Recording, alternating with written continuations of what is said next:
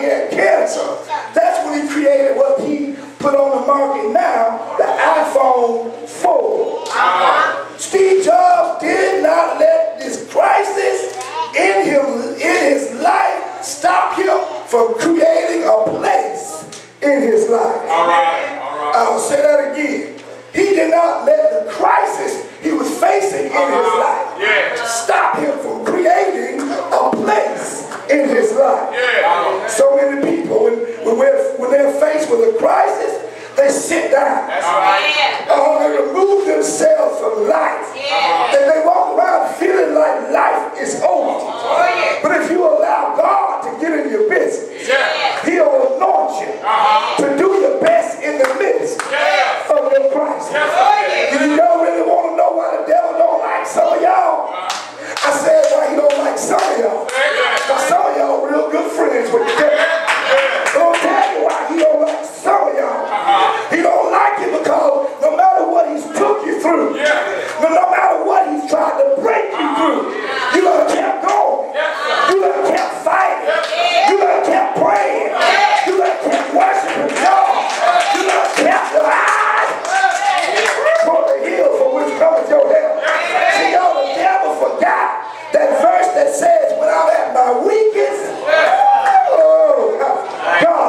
mãos para.